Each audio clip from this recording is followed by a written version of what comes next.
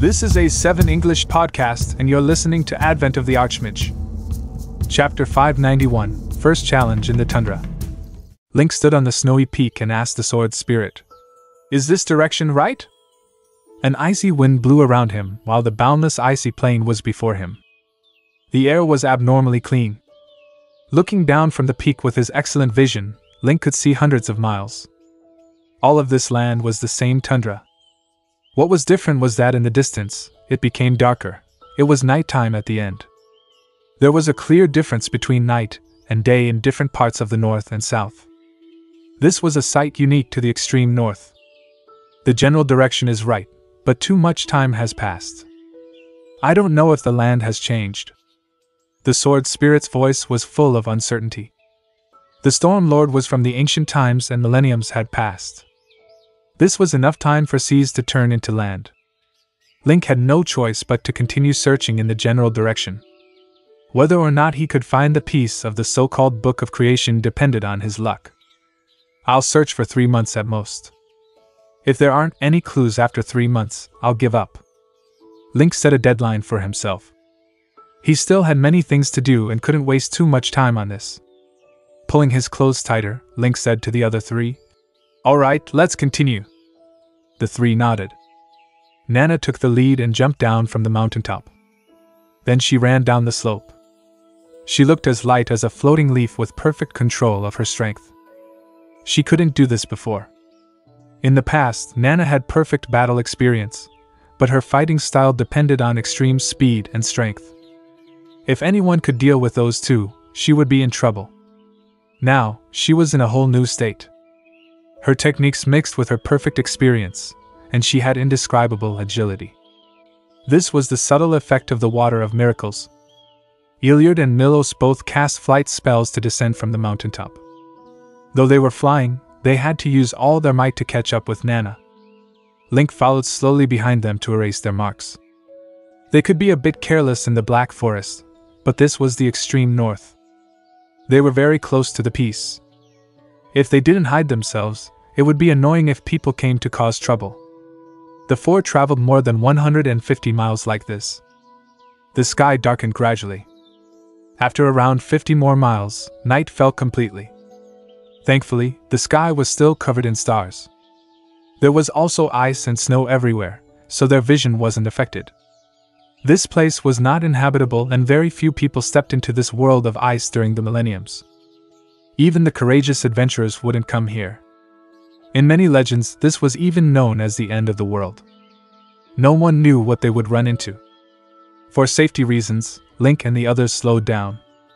To avoid surprising some unknown existences, they didn't even use spells and just walked on foot. Though they were magicians, all three had strong bodies.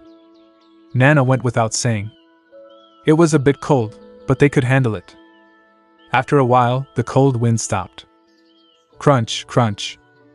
Other than the sound of stepping in snow, the world was silent. It's as quiet as a cemetery here.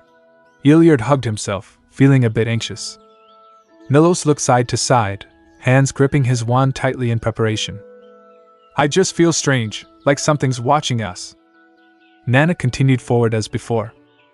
She didn't feel anything abnormal. Link felt something strange too. This place was too quiet.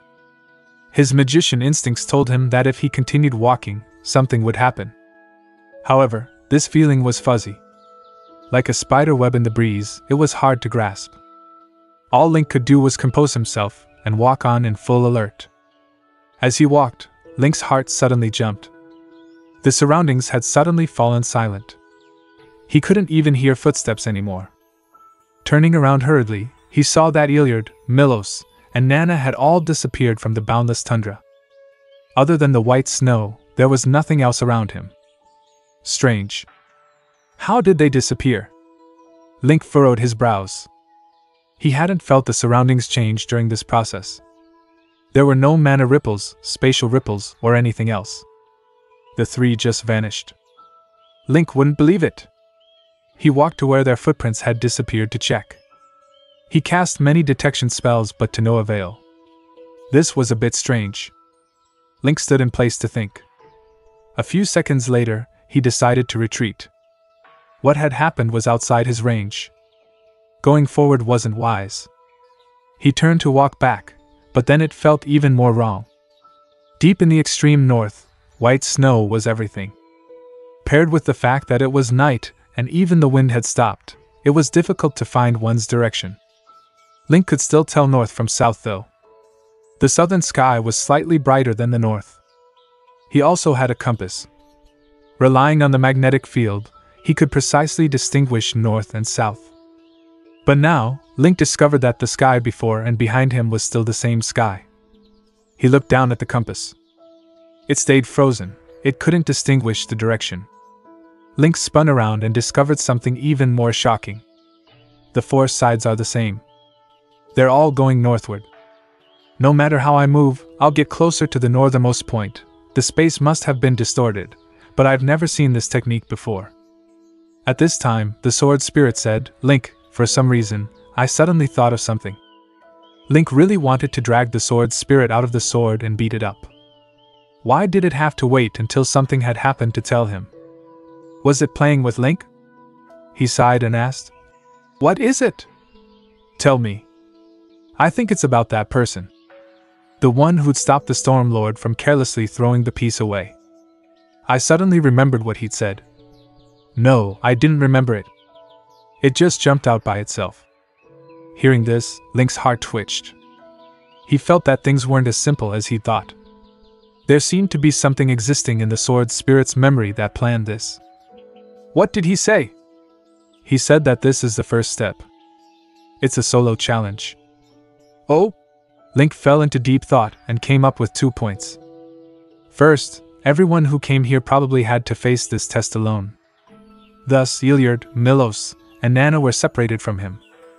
Second, he wasn't the only who could pass this test, so there must be a second and third step until there was a final winner. Here, Link stopped thinking. He continued walking deep into the icy plain. Soon after he entered the test, two fiery red figures arrived. They were Hamilton and Noah, Inferno warriors from Aragu. They didn't have the calmness as when they'd first arrived in Firuman. They were in a panic as if a beast was chasing after them. Their glamorous leather armor had become tattered, and they were wounded too. Hamilton especially had a still bleeding injury under his ribs. His pallor was white, and his steps were unsteady. Noah beside him wasn't any better. She'd had two curved fire swords but only had one now. There was a menacing wound on her right arm. The blood had frozen already, but more blood kept seeping from the ice. Her arm trembled. F asterisk CK, they're still chasing, Hamilton gritted out. Speaking had pulled at his injury. He immediately clutched his chest and grunted. I didn't expect magicians in this world to be so powerful. Noah's eyes were filled with terror. These people were too frightening. They weren't as strong, but no matter how the two fought, they couldn't hit the enemy. And the enemy seemed able to predict their every move, always beating them to it. If not for their power and the fear of the enemy, they wouldn't be able to escape here. Hamilton still wouldn't admit defeat. Humph. They had four people and attacked secretly. Of course, we weren't their match. If it was one on one, I'd have them with one strike. Noah didn't speak. She knew that this was just Hamilton's ego speaking. In reality, they might not be a match even in a one on one battle. The dark and light magicians were especially terrifying. The two continued running forward without caring about anything else. Without realizing, the wind stopped, and then Hamilton felt his surroundings empty. He turned around, but Noah was gone. Noah? Noah? He called. There was no reply. Whoosh, whoosh, whoosh. The Red Dragon Queen's group also arrived. Eugene sniffed the air and cackled. Those two aren't far from us. Go, we'll catch them soon. The other three could feel this too and naturally started chasing. After a while, the four were all in the strange territory, separated by the strange force. Suddenly, the icy tundra had nine legendary figures and a legendary Iliard trapped. These ten were facing the test of a certain ancient figure. This is A7 English podcast, and you're listening to Advent of the Archmage. Chapter 592 A Fragment Has Been Found. One half. Am I back again? Link looked at the footprints on the ground again and realized that it was the same place that he had passed by moments ago. It was also the place where Iliard, Milos, and Nana had vanished. This was the third time Link had walked by the same place. He realized that he had been walking in an endless loop. Strictly speaking, it might even be a four dimensional closed loop he was dealing with. In this icy wasteland in the far north, no matter which way he went, he would always return to the loop's point of origin. Time in the outside world would also rewind back to the moment when Iliard and the others had disappeared without a trace. It was easy to spot a spatial loop. On the other hand, no ordinary human being would be able to notice a loop in time, especially when he or she was trapped in an icy region where there was nothing but ice as far as the eye could see. The wind was silent, and nothing stood out as a point of reference for Link. Link would not have been able to sense a time loop as well, had it not been for the fact that he had spent most of his time studying his time magic book recently. Though he still had a long way to go, his research had bore some fruit, such as the fact that he was able to sense a stagnation in time. Link decided not to walk in circles any longer. He sat down on the snowy ground. With one hand on his forehead, he tried to remember what had happened before, hoping to find some clue for him to break out of this loop. Though he sat there, motionless, his mind was working at a feverish pace trying to piece together an explanation for his situation. Not only was he going through his own thoughts, but he was also flipping through the time magic book in his mind in an attempt to corroborate his own theories. After silently sitting there for a long time, Link suddenly jerked up from his thoughts. He finally discovered the secret behind the loop he was trapped in. It may seem like an endless loop, but it still has a point of origin. Otherwise, I would not have ended up here in the first place. The loop's origin is its endpoint. It is also my way out of here. He stood up and drew out his ode of a full moon sword. Under the starry sky, he stabbed at six different points around him with his sword. A runic wheel appeared from the sword's tip with each stab. There were countless smaller rings of runes within each runic wheel. At a glance, it looked like the interior of a clock, its gears rotating rapidly with each other inside it. When Link was done, six exquisite hexagonal runic wheels now surrounded him. As the wheels spun on for three seconds, Link heard the sound of ice breaking. Soon, his surroundings began changing drastically around him. The silent, dark, icy wasteland was now fading away quickly before Link. Snow then whirled around him alongside the wind, which roared into Link's ears like a wild beast. The surrounding temperature had dropped to a few hundred degrees below zero in an instant. The cold was now beyond bearable. Even Link's magic robe could not resist the freezing cold. His eyes felt like they were about to freeze up and fall out of their sockets. There was no way a human body would be able to withstand such temperatures. He needed to warm himself up as quickly as possible. One of the most convenient methods for any magician to keep warm would be magic itself. Before, Link would have cast a spell to do so without hesitation. However, at the moment, he decided not to use magic. In order to magically keep oneself warm, a magician would need to focus on maintaining the spell's effect on himself. This would not have been a problem to Link under any other circumstances. But given the erratic nature of his surroundings at the moment, he would not be able to react in time to any sudden changes if he had to focus on two things at the same time. This was not a risk he was willing to take. Instead of magic, Link decided to use a new technique that he had acquired after practicing the Beastman King Avatar's Soul Furnace technique. The energy in Link's body began to circulate at an accelerated pace as he willed it to. As a result, he began to feel his body warming up more and more. The heat in him flowed through his every vein to every extremity of his body. In a matter of seconds, the numbness in his body was gone. Link had regained the feeling in his limbs. In truth, the technique that Link had just used was similar to the way a warrior used his battle aura.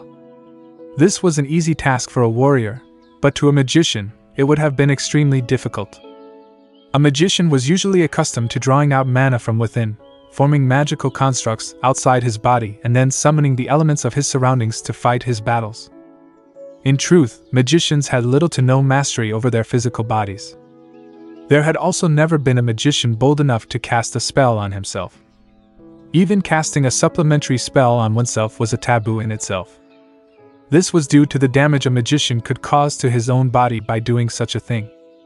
But now, Link had transcended the difference in power between magicians and warriors by using the Beastman's legendary battle technique, the Soul Furnace. This was only made possible by his mastery over his own power. His body was now warming up. Link glared at the freezing wind as he pressed on towards the north. The voice of his sword spirit echoed in his head there's that voice again. It said that this is the second test. Understood, said Link, as he continued walking forward. Soon, Link realized that the air was getting colder by the minute. As a result, he was losing body heat quickly. He needed to speed up the circulation of his energy in his body before he froze to death. After walking a few hundred feet forward, a message popped up in Link's line of sight. Straining his eyes, he saw that it was a warning message from the game system.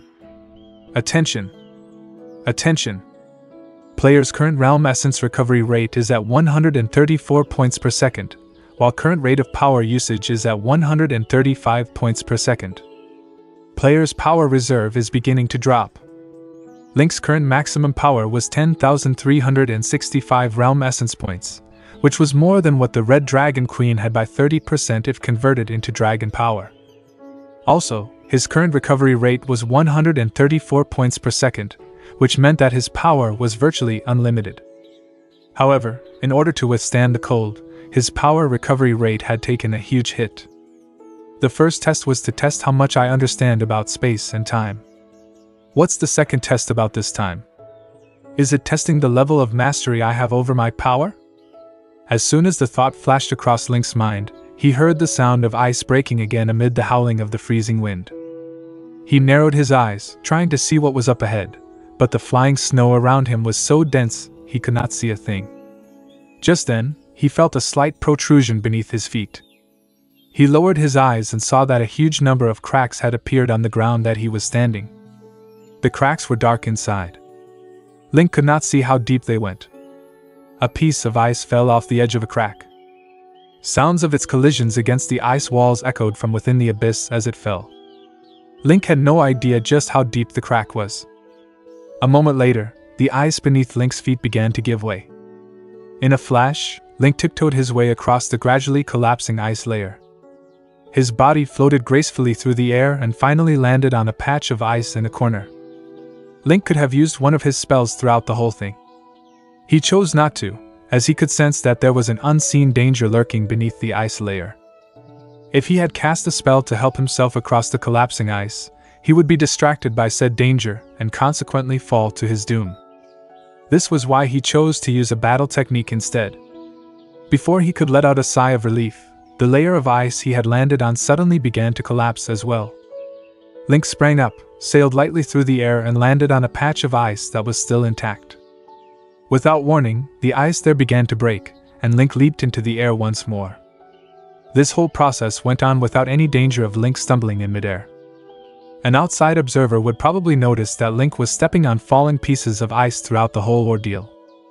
The layer of ice he landed on would collapse, and Link would leap off fragments of it in the air as he moved forward. It seemed as if he was literally walking on air. This went on for around 10 minutes.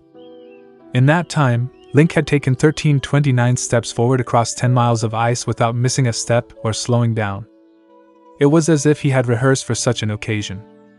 When he took his 1330th step, his foot finally hit solid ice which did not give way immediately. This circular patch of ice was around hundred square feet. In the middle of it stood a man completely covered in frost. Before Link even had time to plant both feet on the ground, the man came at him, appearing before Link in the blink of an eye. An ice sword materialized in his hand and was already less than a feet away from piercing through Link's chest. No magician or warrior would have been able to react to such an attack in time, especially after experiencing what Link had gone through. They would be stabbed by the man's ice sword before they even knew what hit them. Anyone on the wrong end of this sword would be killed in an instant. However, Link was not just an ordinary magician. As he was leaping off of falling ice, he had already spotted the Iceman in the distance. His power had already flowed into his sword, when the Iceman teleported before him, Link immediately stabbed at him with his Ode of a Full Moon sword. He then activated the Time Sword technique, which had the effect of 1,000 years squeezed into the span of a mere second. As the ode of a full moon sword lightly touched the tip of the ice sword, cracks began appearing across its blade. An instant later, the entire ice sword burst into a fine powder. In this realm, nothing could withstand the destructive power of accelerated time. After shattering the ice sword, Link swung his sword up and stabbed the ice man's forehead with it in one fluid motion. Power then flowed into the tip of his sword, activating an incredibly destructive fire spell that belonged to the dragon race Ball of Destruction. Purple light flashed out from the ice man's head. Then, his body fell down limply and melted into a puddle of water.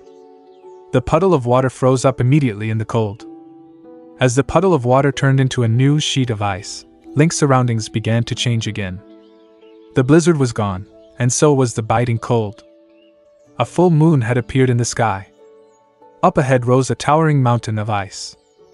On the peak of the mountain was a platform, from which shone a faint light. Looking closely, Link realized that a broken stone fragment was the light's source. The fragment of the Book of Creation. Excited by his discovery, Link began to climb up the mountain to retrieve his prize. Just then, the sword spirit said, The third test has begun. Five flashes of light appeared in quick succession not far away from Link. There were silhouettes standing in the light. One of them was no more than 300 feet away from him. Link narrowed his eyes. Eugene. Eugene looked disheveled. His black robe was torn in certain places. His hair was in a mess, and there were even bloody wounds on his face.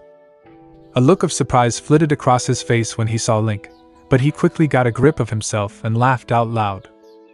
Ha ha, if it isn't the Lord of Ferd himself. Never thought I would find you here, of all places. This is A7 English podcast, and you're listening to Advent of the Archmage. Chapter 593 Moment of Testing One's Heart. The icy peaks loomed under the moonlight. Under the mountain, six people appeared Link, Dark Magician Eugene, Light Magician Helino, Iliard, Nana, and a warrior with tattered red armor and a curved sword. Wait, another beam of light appeared around 1,500 feet to the left of Link. The light subsided, revealing Red Dragon Queen Gretel. So there were seven people.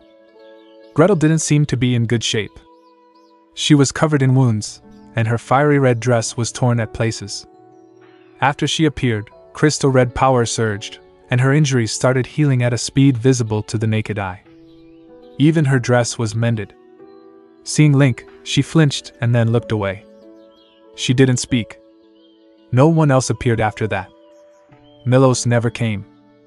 Link guessed that he couldn't pass the test. Now, the piece of the Book of Creation was not far from the seven. Gretel was 1,500 feet to the left of Link. The dark magician Eugene was to his right.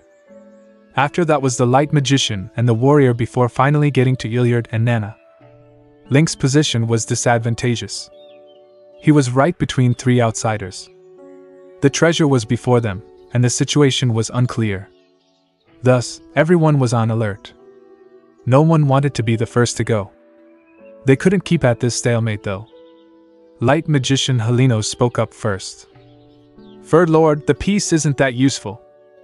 If you take it, before he could finish, the voice rang out from the mountain again.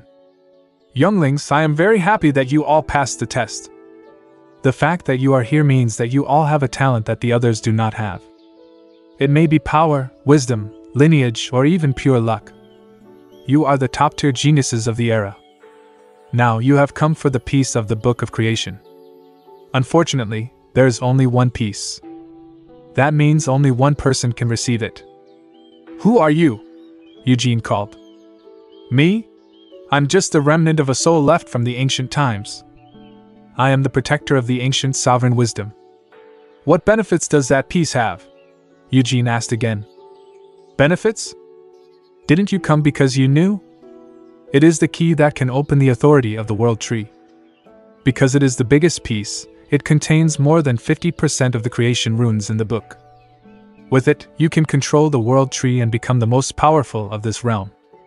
You can rule over the countless lives in Firuman. Control the world tree? The most powerful who could rule over lives. Other than Nana, everyone present stopped breathing for a moment.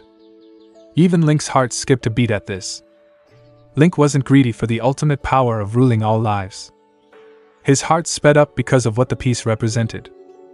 It could help someone become the ultimate ruler and control countless fates. The fact that it existed was terrifying. Imagine if someone got it. If they really became the most powerful, as this protector said, then Link, his loved ones, and his friends would all be ruled by them. If they didn't like the new magic institution he'd established in Ferd, they could destroy it easily. These thoughts flowed through his mind. Instantly, Link discovered that he only had one choice fight for the piece. Link didn't lower his guard while thinking. He kept watching the people beside him from the corner of his vision, especially Eugene. In his mind, he also asked the sword spirit Is the piece truly that powerful? It might not have been in the ancient times. When all level 19 lords united, they could still defeat the sovereign. But now, there are barely any strong figures. Perhaps it's true? The sword spirit made sense. At this time, Link suddenly saw a message pop up in his vision. He checked and saw it was actually from the game system. Activate mission, the piece that shouldn't exist. Mission content The piece of the Book of Creation is too powerful. Its existence will only push the Firuman realm deeper into danger. Destroy it so no sovereign can appear in this world. Mission Reward 1 Brilliant Starry Crown, Level 19. Mission Reward 2 1000 Omni Points. Punishment for Failure Light Curse. Light Curse. Divine Technique. Effect the punishment of the God of Light. The cursed will have their power forever sealed by the God of Light and die within three years. Note God can instantly destroy a mortal's power and cause them to fall from the clouds, making them experience despair. This mission was very cruel. Link glanced at it and then ignored it. He wasn't that naive kid anymore. He knew what he wanted to do and didn't want anyone to interfere. Even if it was a god tempting him with level 19 magic equipment, he would still be unmoved. The Red Dragon Queen spoke now to everyone present. This piece will cause a great imbalance in the world's power. I don't wish anyone to receive it, so I will do my best to destroy it. If I succeed, the world will be in luck. If not, I hope Firuman can be eternal. As she spoke, thick red light appeared on her body. They formed the illusion of a dragon, Half a second later, she transformed into dragon form. Hearing this, dark magician Eugene yelled, Gretel, what's wrong with you? Didn't you say that we'd use this to stop the High Elves? How come you've turned now? Light magician Helino also said, Your Majesty, I agree, but let's use it to stop the High Elves first, and then destroy it. The Red Dragon Queen shook her head resolutely. No, once this piece arrives at the World Tree, no one will be able to resist its temptation, not even me. Thus, I must destroy it now. You crazy woman! Eugene yelled. Dark flames faded in and out around him as he berated. Without it, we'll all die when the realms fuse and mana explodes. So what? Life will pass. My race's mission to maintain the balance in the world is truly eternal. Gretel's voice was calm. Her eyes were also calm, She'd seen everything in the world. In the distance, Inferno warrior Hamilton watched all this and burst into laughter. It's laughable. It's truly laughable. You haven't even gotten the piece, and you have internal fights already. There'll be a great show next. Alright, don't look at me. I'm not your match. You guys take it while I get out of here. Seeing this was enough for me. With that, he turned around and walked back. Soon, he was gone. Even his aura had disappeared. He really wasn't going to continue this fight. Six people were left. Iliard looked to Link. What do you plan on doing? He wasn't interested in ruling. To him, the best thing in life was to quietly study magic and spend his time with his loved one. This had mostly come true in Ferd. Now, this piece was threatening his happy life. His intent was the same as the Red Dragon Queen. He would do his best to destroy the piece. However, if Link wanted it, he would also try his best to get it for Link. He knew that the world wasn't as beautiful as he thought. He may not want it, but that didn't mean others didn't want it. Link getting the piece was better than others getting it. As for Nana, She would do whatever Link said. Helino looked at Link and hurriedly said, Lord Morani, don't forget the crazy plan of the High Elves. I believe the wisest choice is to take the piece, stop the High Elves, and then destroy it. If you agree to help us get it, I can take three astral meteorites from my personal archive as compensation. As soon as he finished, Eugene said, Lord Morani, you have common sense. Helino's plan doesn't have any problems. If you agree, I'll add three more astral meteorites. On the other side, the Red Dragon Queen didn't say anything. She also looked at Link. She was clear that whether or not she could destroy this terrible piece depended on Link.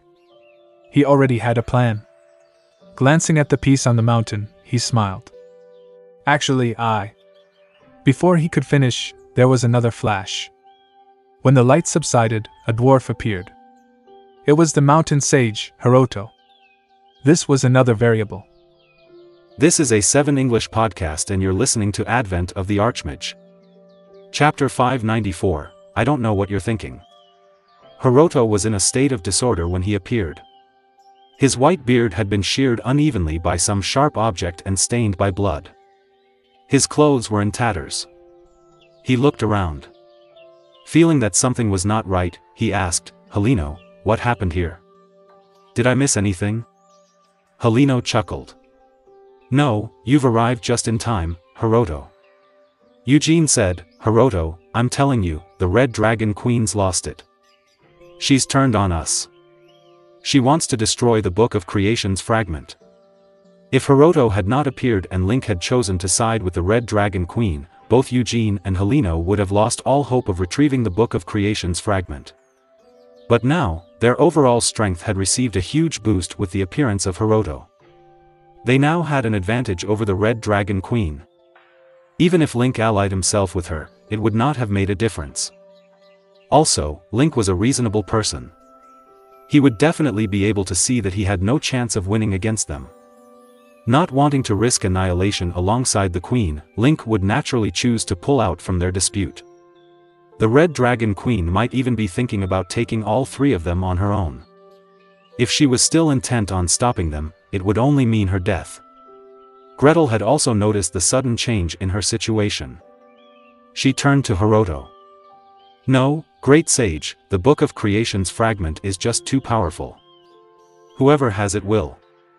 Eugene, you bastard. Are you looking to die so soon?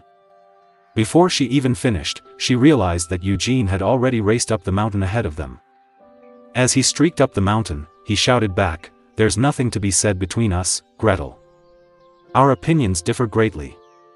Trying to persuade the other to see one's point of view would simply be an exercise in futility. Helino, Hiroto, stop her. Gretel opened her mouth wide, and a huge fire pillar surged out from it towards the dark magician Eugene like a sharp sword. It did not matter whether Link decided to side with her. It did not matter if she had to see this fight through on her own. Even if it meant risking death, she would do whatever it took to destroy the Book of Creation's fragment. And so, she did not hesitate to make the first move against Eugene. Hiroto was still unclear about the situation. The atmosphere was already tense when he appeared in their midst. Seeing that Gretel had struck out at Eugene, Hiroto decided to join forces with Helino and Eugene. He pointed his wand at the ground. Mountain surge. A rumbling sound came from the ground. In an instant, the ground rose up, forming a 500 foot tall, 1,000 foot wide, 100 foot thick stone wall. It was as if a huge mountain had appeared out of thin air. The five foot thick dragon breath hit the stone wall. Streaks of fire and light flew off in all directions upon impact, and molten rock flowed from the wall, but the attack did not penetrate the thick stone wall. Gretel, what are you doing? Hiroto could not grasp the Red Dragon Queen's actions. Helino said hurriedly, save your questions for later, Hiroto. Our top priority now is to retrieve the Book of Creation's fragment before anything happens to it. This sounded reasonable. Still unclear about the whole situation, Hiroto decided not to think too much about it for now and pointed his wand at the Red Dragon Queen's feet. Earthquake. With another rumbling, the ground beneath the Red Dragon Queen began to roil like an ocean surface during a storm. Gretel spread out her wings and rushed into the sky in a whoosh. She then spewed dragon breath at Hiroto as she flew up. Another huge pillar of fire surged out from her mouth. This was not all. A dark purple fireball was now taking shape in front of the Red Dragon Queen's massive body. It gradually expanded into a three-foot wide purple-black fireball. Ball of Destruction Dragon breath surged towards Helino and mountain sage Hiroto like an avalanche. On the other hand, the ball of destruction hurtled towards the mountain sage's huge stone barrier and collided into the huge hole that Gretel had managed to carve into it with her first burst of dragon fire. In the next second, an explosion shook the earth. The ball of destruction had exploded, shattering the stone barrier into pieces. The stone that formed the barrier melted into hot molten lava, which burst out in all directions at incredible speed. In an instant, lava sprayed out as far as a few thousand feet around the point of impact. From afar, it looked as if someone had set off a lava-filled firework. This was an indiscriminate attack, covering everyone and everything within its area in an instant. It also had tremendous power. Each blob of lava that was sent flying into the air could reach level 11 or above in terms of power. Only the Red Dragon Queen was able to unleash an attack of this magnitude with ease. In the midst of this catastrophic display of fire and smoke, a flash of white light appeared. It was Link's spatial portal. Just as everyone else was busy taking cover, Link appeared beside Iliard and Nana and conjured a spatial barrier around them. As soon as the barrier appeared, hot molten lava began falling from the sky and onto the spatial barrier. The barrage of lava was then suspended in midair by this transparent barrier before it hit the ground. Through the spatial barrier, all three of them saw that Helino, Hiroto, and even Eugene stopped in their tracks in order to set up their magical defenses against this attack. Seeing the raging red dragon queen floating in the air, Iliard could not help but exclaim, the dragon's queen really is powerful to be able to hold her own against three legendary masters. Nana thought otherwise. She was staring at Helino. She then whispered, two seconds. Two seconds until what? asked Iliard. Link replied, two seconds from now, the light magician Helino will retaliate. Judging from the flow of energy within him, the attack he's preparing will be lethal. She'll die from it. Updated by Novel Full. Helino was a level 13 master who had seen much in the world for the last hundred or so years. He was a peerless master whose power was second to none. The Red Dragon Queen was simply not a match for him. Link's hand was already holding up the ode of a full moon sword as he said this. Though his choice differed slightly from the others, Link was still of the opinion that the Red Dragon Queen's continued existence would benefit Link and Ferd more than her demise. And so, if Gretel was really in trouble, he would have to step up and come to her aid. As the terrifying shower of lava came to an end, Helino's voice rang out.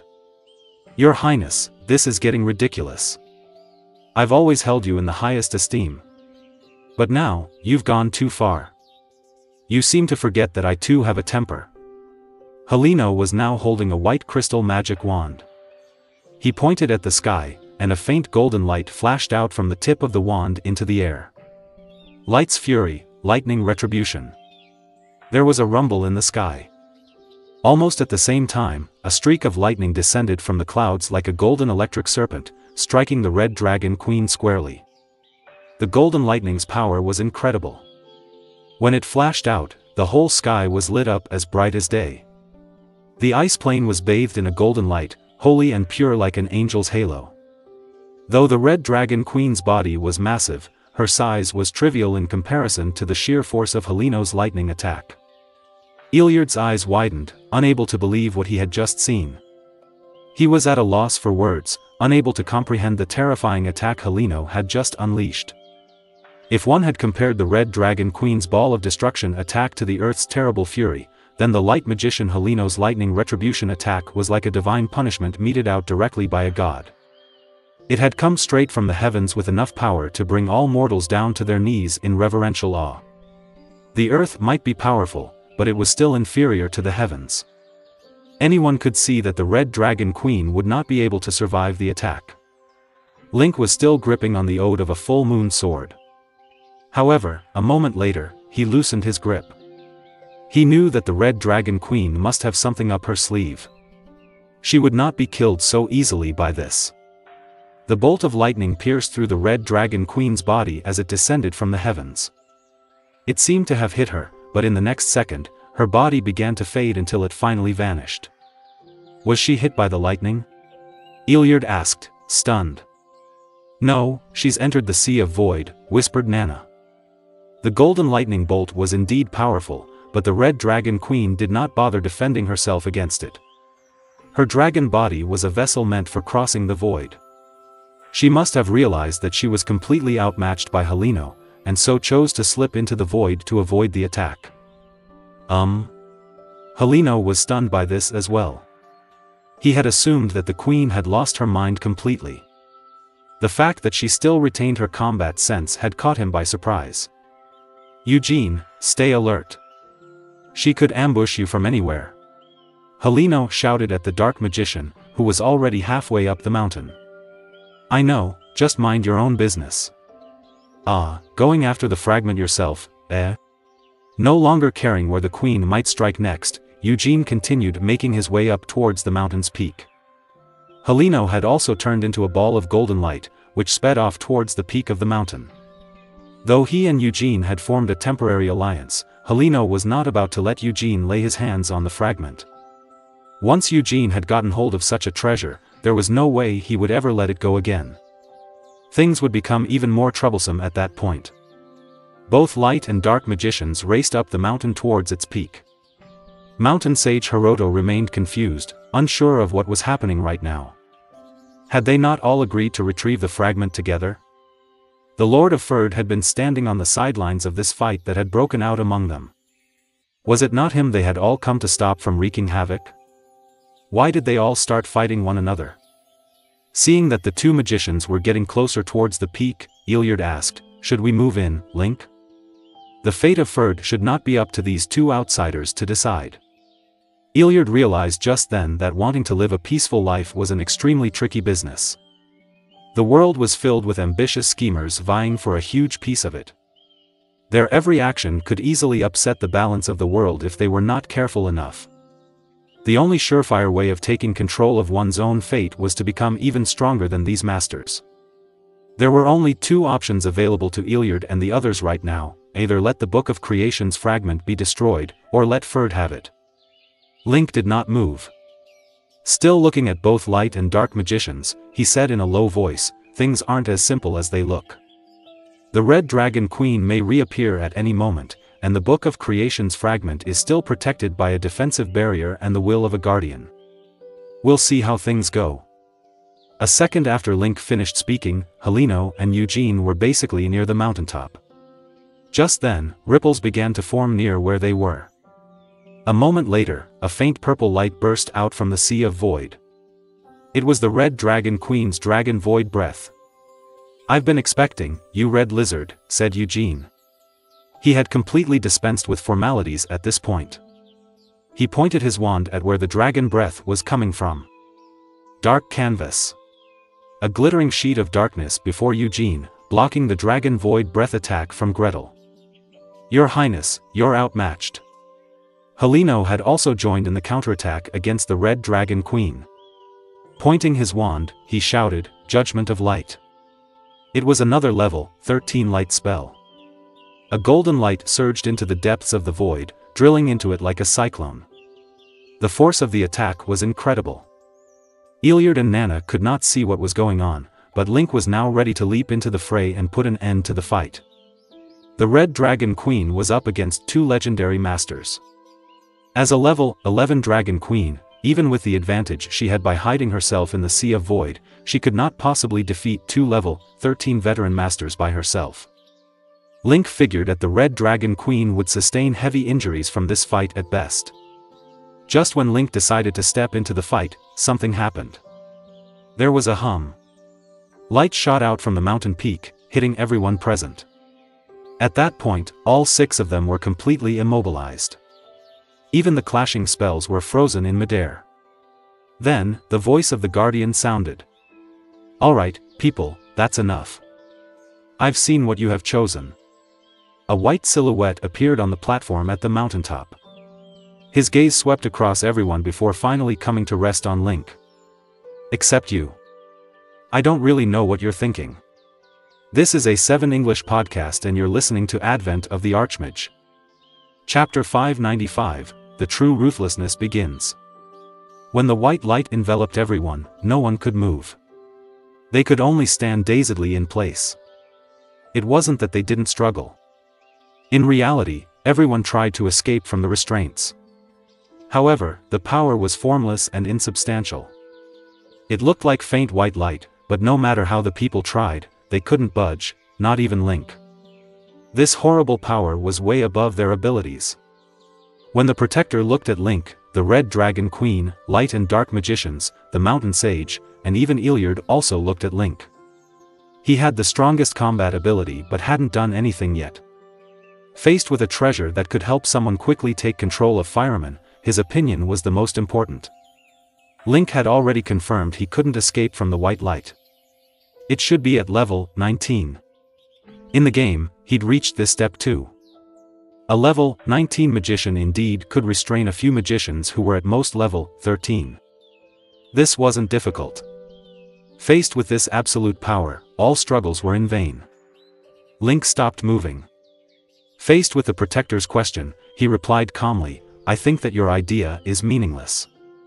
An idea is just a strategy in my mind. It doesn't mean it'll really happen. Oh, you aren't willing to say it? The Protector was a bit surprised. Your viewpoint is very realistic.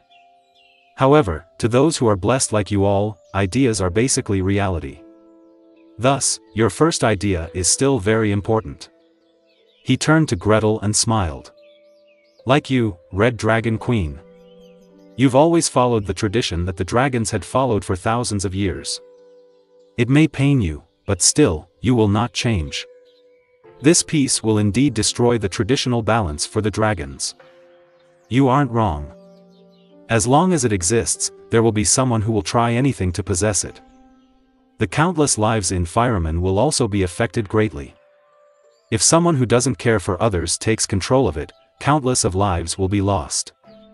The Red Dragon Queen had already floated out from the Sea of Void. Her eyes focused on the Book of Creation piece at the mountaintop. You're right, she said coldly. That is what I think. I can die for it. Very honorable, but it has nothing to do with me. The Protector was unmoved. He turned to Eugene. And you, Dark Magician, are the one who wishes the most to get it. A voice deep inside tells you to get it and control the undefeatable force in Ferd. Turn Ferd into what you like. And what you like is a dark world where only dark magic exists. Am I right? Eugene laughed sinisterly. You're right, but you don't have to guess my plan. Those who are familiar with me know that I'd definitely do that. If I get the piece and take control of the world tree, the just and moral will have no excuse to banish me. I'd love to see the expressions of those hypocrites at that time. Humph. Helino looked down at him with extreme disdain. But the protector's expression was still calm. There was no disgust at all. No matter what, you are honest. That is one of your few good points. Thank you for the compliment. I'm flattered. Eugene leered. The protector ignored him and turned towards Helino. As for you, light magician, you say that you wish to take the piece and destroy it after stopping the high elves and ensuring the safety of Firuman. But I see your hesitation. You aren't sure what you'll choose after getting it.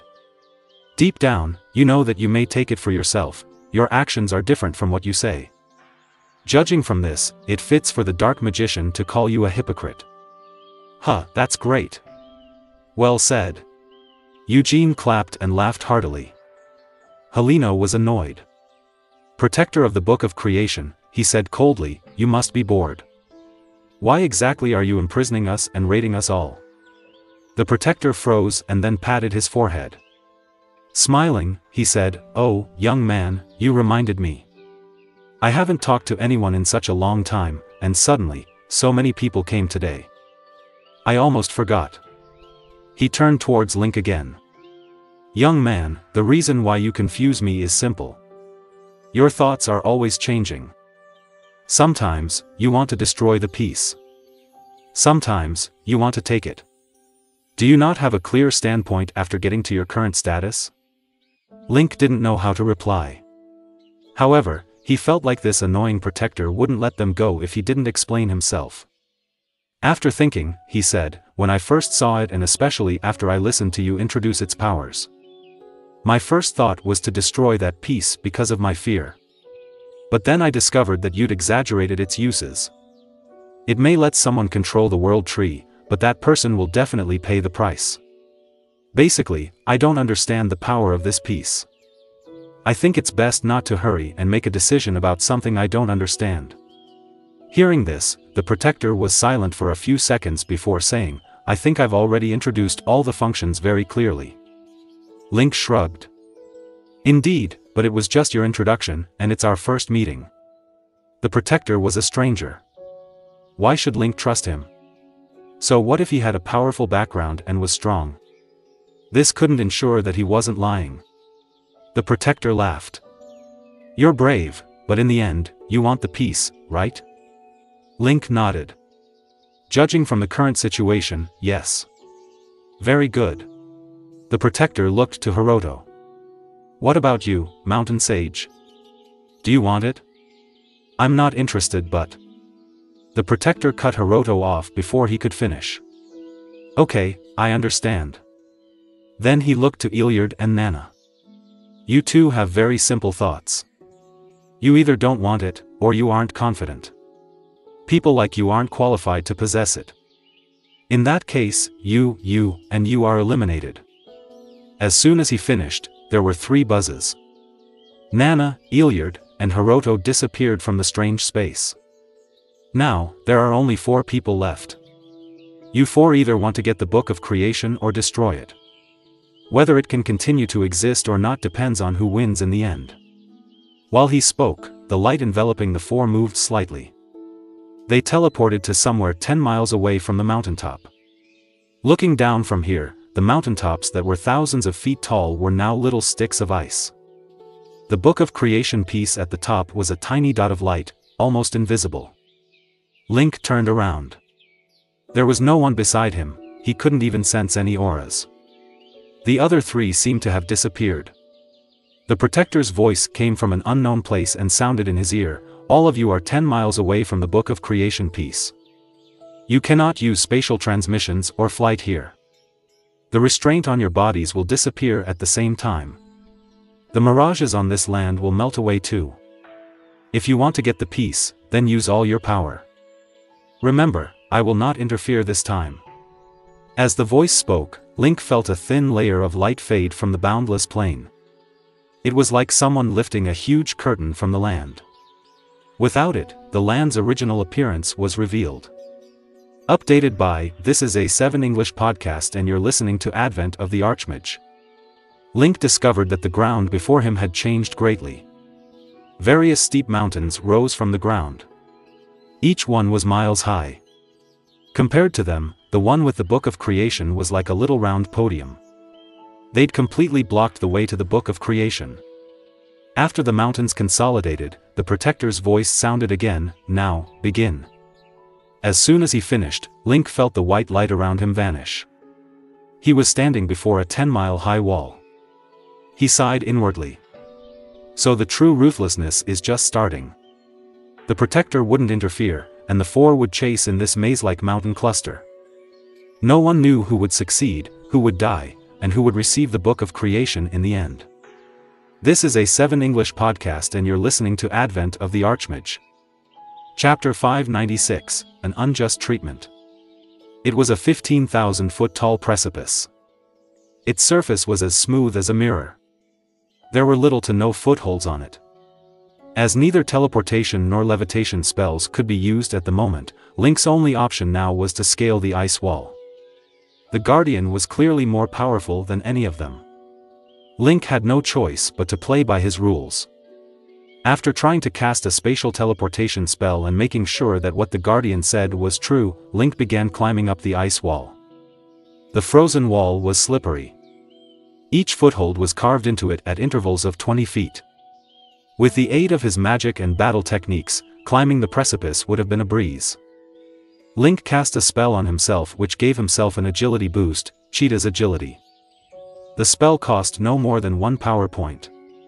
Normally, his body would have recovered this bit of power in an instant. However, after a few seconds, Link realized that his power reserve showed no sign of replenishing itself. Hmm. Has this so-called guardian blocked off all the energy channels in my body? He felt fine, which meant that no foreign power had infiltrated his body. The only other possible explanation to his current predicament was that the other party had erected a barrier around his body. Are the other three in the same situation as I am? Forget it, I don't have any proof to confirm my theory anyway. I'll need to expect the worst while dealing with this just to be on the safe side. The worst case scenario would be his power being sealed off while the other three still retained their powers. This meant that Link would need to use his power sparingly. If a confrontation were to happen, he would need to be in a position where he could strike first and fast in order to be efficient with his power reserve. Link would also need to maintain a level of secrecy. In the case of climbing the ice wall, it would be better for him not to use any spells right now so as to avoid wasting his mana and giving away his position. After thinking for a while, Link placed a firm foot on one of the footholds on the precipice. He then extracted a piece of magic steel from his spatial ring and spent two points of power to activate a Higgs force field, which reshaped the magic steel into a pair of ice axes. Link then deactivated the cheetah's agility spell that he had cast on himself just now. Updated by, this is A7 English podcast and you're listening to Advent of the Archmage. When he dispelled the supplementary spell, the realm essence power keeping it active would be released into the air. Link was prepared for this. With a nudge of his will, he redirected it back into his own body. He was also up against two level, 13 legendary masters. They were one level above him and possessed a great deal of combat experience. He could not afford to waste even one point of power at this point if he were to stand a chance against any one of them. Gripping the ice axes tightly in his hands, Link stopped looking for footholds and swung himself up across the ice wall by brute strength. He had climbed no more than 15 feet when suddenly there was a sudden rumbling sound within the ice wall. A few seconds later, a dark aura issued violently out of it. This is Eugene's doing. Must be at least level 9. The fact that he is able to use such a high-level spell meant that his power was not sealed off like mine was. Well, that's not fair. Though he had no idea why the Guardian had targeted only him, there was no use crying foul and getting angry about it. If he wanted to get his hands on the fragment, he would need to process his current situation calmly and devise a countermeasure against any attack. Things aren't looking too good. I'd better get past this wall of ice, quick. He then continued climbing up the ice wall, even faster than before. As he climbed, he activated a battle technique, Soul Furnace. This technique not only allowed its practitioner to have perfect mastery over one's own power, but it could also speed up the body's healing rate. Link was putting enormous strain on both his arms as he climbed. He would have been able to withstand such a strain for a moment or two. But climbing 15,000 feet without rest would definitely present its problems soon. At that moment, he sensed that the strain would severely affect his swordsmanship. However, if he sped up his body's healing rate as he climbed, with the aid of his realm essence power's naturally high recovery rate, he would probably be able to minimize the damage to his arms. Composing himself, Link continued to climb up the wall. After climbing for a while, he began to feel his body heating up. His body temperature had increased to more than 50 degrees. At the same time, he could also feel that his power level had decreased by 50 points. The 50-point loss was the result of his body mending the wear and tear in his arm muscles as soon as they appeared. At that point, Link's arms looked undamaged. Due to the continuous cycle of repair and damage that was taking place in his internal systems, they looked even sturdier than before. Link decided to rest for a while on the precipice. He then continued climbing when his temperature returned to normal. Throughout the whole process, Link could feel five distinct magical auras. One of them belonged to the Light Magician, the other two were the Dark Magicians, and the last two auras were the Red Dragon Queens. The three of them were using high-level spells as they pleased, not at all concerned about how much magical power they were spending. This proved Link's initial conjecture. All three of them were not hindered by the same power limitation that Link was shackled with. This unjust treatment was enough to make a man's blood boil. If that's the case, I'll only have one chance for one single burst. If I fail, that would mean death. Eugene would also take the chance to shatter my soul into pieces, thought Link. The risk was high, but there was no way Link would let the fragment fall in anyone else's hands, especially those belonging to the dark magician Eugene. After calming himself and dousing the flames of righteous anger over the injustice of his treatment in his head, Link then continued his climb. Half an hour later, Link finally reached the top of the ice wall. At the top of the ice wall, there was a small platform no wider than 20 feet. There was a steep hill behind it. Sharp icicles lined the hill's path. It looked like a sea of swords from afar. Pristine white clouds floated at the end of the path, blocking off Link's view. From where he stood, besides the white clouds in the distance, Link could not see anything else.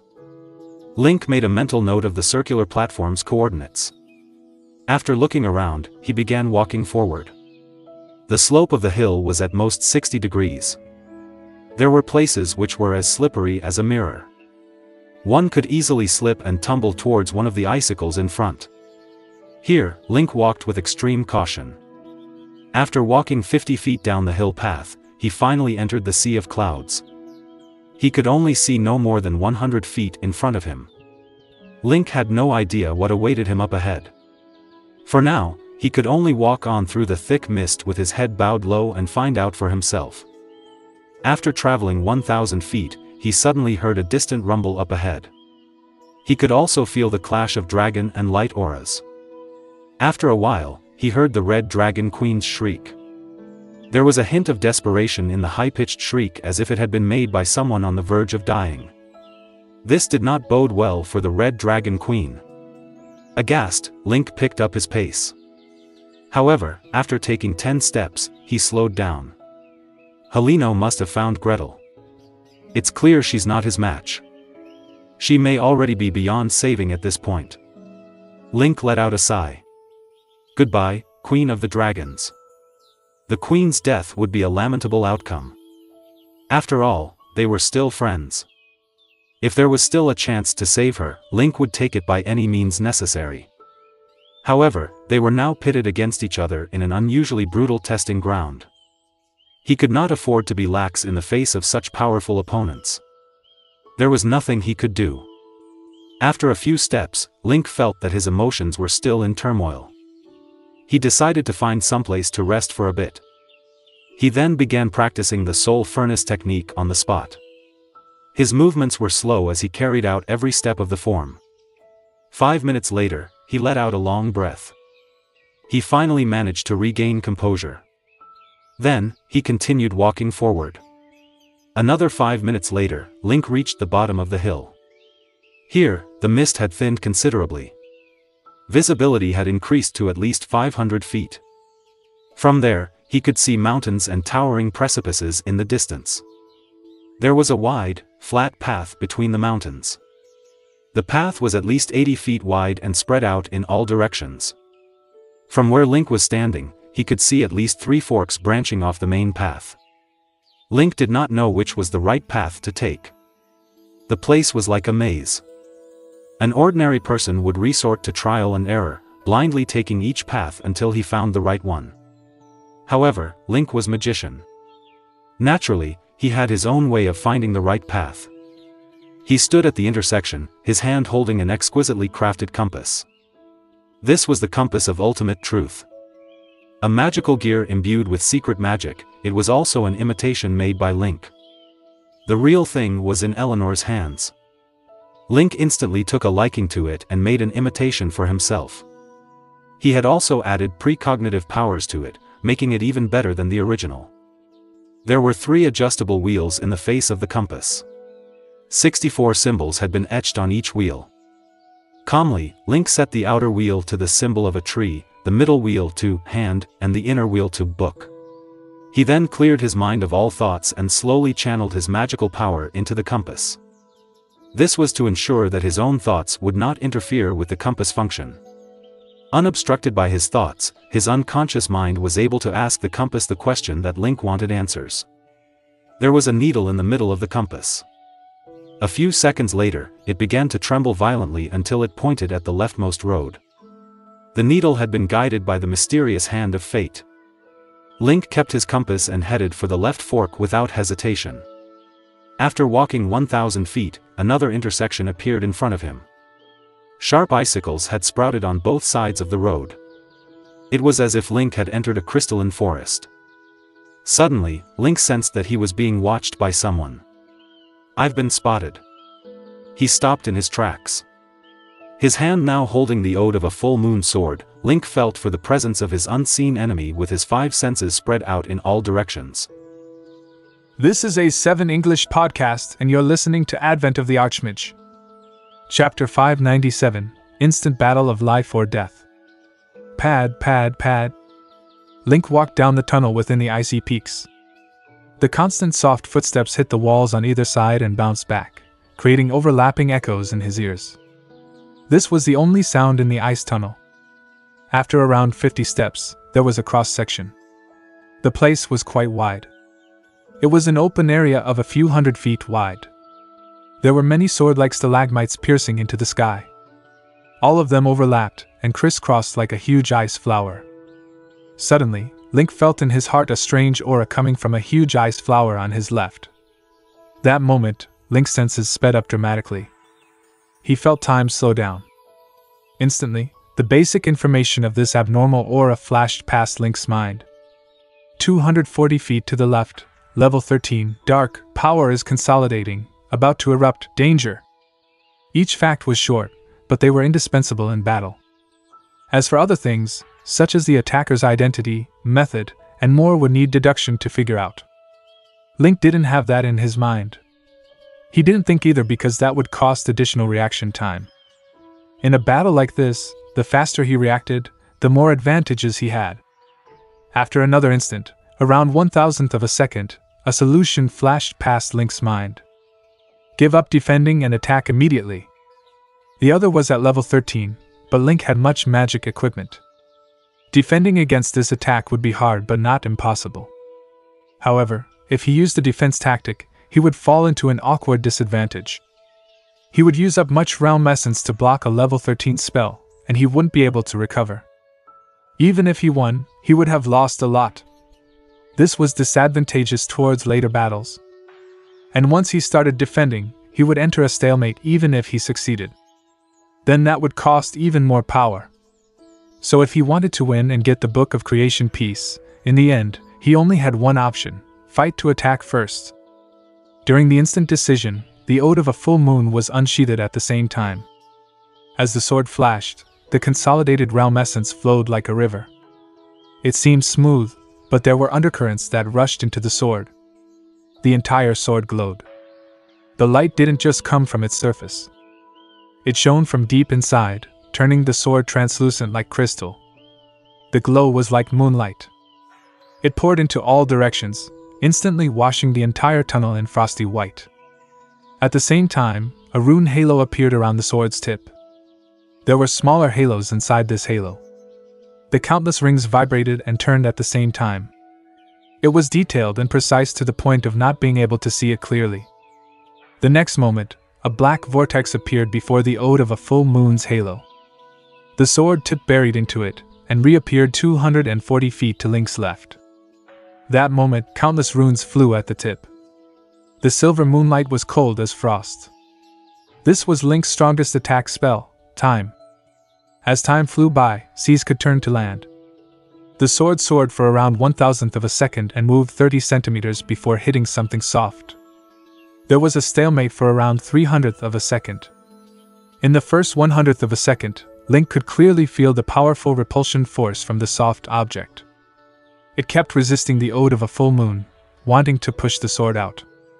This strength was impossibly powerful and completely surpassed Link's limit. He almost lost control of the sword but this only lasted for one hundredth of a second. After that, the power of time came into effect. Under the extreme passage of time, the soft object's power decreased rapidly. It entered the stalemate period. This lasted another one hundredth of a second. The opponent continued to weaken. The ode of a full moon began to get the upper hand. During the last one hundredth of a second, the other's power collapsed completely. The sword stabbed in. Squelch. That familiar sound and feeling was of a sword piercing flesh. In the Orita fortress, Link had personally used his sword to kill more than 5,000 people. He was very familiar with the feeling of a weapon entering flesh, so he felt it at once. Realm essence flowed through the sword and rushed into the opponent's body. It didn't simply rush in. When it flowed past the sword, it started forming mana structures. Because of Realm Essence's perfect controllability, the speed was at the maximum speed. Instantly, it formed a destruction spell, Ball of Destruction. It entered the opponent's body next. Then, Link retracted his sword. During this process, he'd already started retreating at full force. His body flashed and then hid behind a thick stalagmite. It wasn't enough to block the opponent's attack, but it could hide him, making the opponent lose their target momentarily. This was to prevent their last attack before death. While Link did all this, less than one tenth of a second had passed. Link couldn't do this before. He would have needed at least two tenths of a second to perform it completely. This was all thanks to the Beastman legendary battle technique, Soul Furnace. Just as Link hid behind the ice pillar, a tragic cry came from his near distance. Following it was an explosive boom. Then, a power aura with fire and darkness traveled over. Link turned to take a glance. He saw a dark purple flame billow from behind a stalagmite. Around the fire were pieces of blood and flesh. Amongst it, Link saw a bloody skull. Judging from the hair color, it was Dark Magician Eugene. Now, Link realized belatedly that his sneak attacker was this Dark Magician. He'd taken care of it with one strike. Eugene was weaker than he'd imagined. A semi transparent shadow flew up from the ruins at an incredible speed, rushing into the sky. It should be Eugene's soul. If he'd flown a bit slower, Link wouldn't mind adding another strike to shatter the soul. He couldn't do that now, though. Eugene must be skilled in soul spells. After leaving this time, he will definitely use some method to be reincarnated. At that time, I'll have a new nemesis. I must be careful about this. Of course, Link didn't have any regrets. In the previous situation, it was life or death. Since Link could kill Eugene once, he could do it a second time. He wouldn't underestimate Eugene's destructiveness because of this, though. Eugene was a true legendary magician. Fighting face to face wasn't his strong point, but if Eugene chose to stay in the shadows and plotted, that would be truly horrible. After composing himself behind the stalagmite, Link walked to Eugene's corpse. After looking around, he found an extraordinary dark wand and some magic items. This included a spatial ring. Opening the ring, Link couldn't help but shake his head. So many good things. As expected of an old legendary magician. Collecting all of them, Link checked his own state. That attack had seemed fast, but it had cost a lot too. In that instant, he'd used up more than 5,000 Realm Essence points. This was close to 30% of his total power. I still have more than 70%, and I should only have the Light Magician left. I can deal with him. Link continued on with that in mind. He walked for more than 10 minutes along the tunnel. Then he suddenly saw someone leaning against a huge stalagmite up ahead. Looking, his heart jumped. It was none other than the Red Dragon Queen Gretel. She transformed back into human form and was covered in blood. A crystal spear that kept flashing with golden lightning was in her waist. Her head rested weakly against the stalagmite. Her fiery hair fell messily around her. Behind her, the pool of blood had flowed for more than three feet. The view was tragic. Perhaps due to a dragon's strong vitality, Gretel hadn't died. Her chest was still rising slightly. Hearing the footsteps, she opened her eyes and saw Link. That moment, she smiled bitterly. She opened her mouth to say something but didn't in the end. She just sighed and closed her eyes again. She knew that this human wasn't the human she'd imagined. He was a lord. Perhaps he looked warm on the outside, but inside, he was fierce, cold, and cruel. They may have been friends, but they had different paths. He wouldn't help her. Though her logical mind told her this, Gretel still had some hope in her heart. Tap, tap, tap. The footsteps got closer. They were about to reach her. Gretel couldn't help but open her eyes. But what she saw dashed all hope. Link didn't seem to see her. He acted as if she was a cold corpse and walked past without even turning his head. I was right, but that's alright. I have nothing to miss in life. Gretel's heart had given up. The lightning spear had destroyed her body. All she could do now was wait for death.